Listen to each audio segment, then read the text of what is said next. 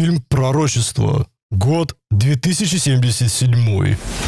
Полгода назад мы запустили программу автоматизации труда, и результаты превзошли все наши ожидания. Здравствуй, Дженни. Я решил, тебе это не помешает для подъема духа. Поднятие духа надо говорить. Тебя поднять? Сколько работников заменят роботы? 90%. Завтра в 10 собрание. Ой, ну не надо. Че, реально? Скоро здесь все поменяется. Благодаря тебе. А чё я? Больше роботов. Апгрейд. Я не буду учить робота на замену мне. Ты чем-то расстроен?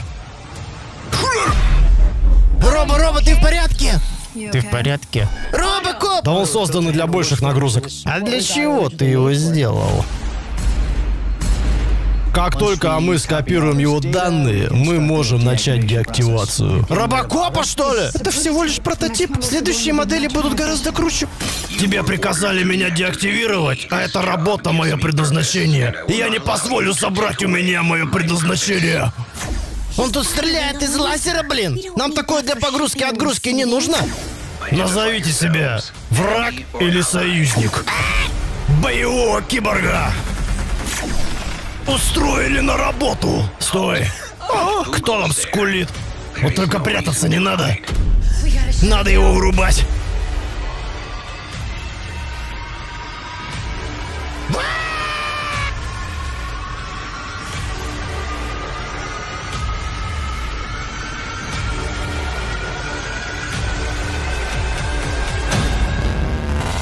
Пожалуйста, не надо меня бояться.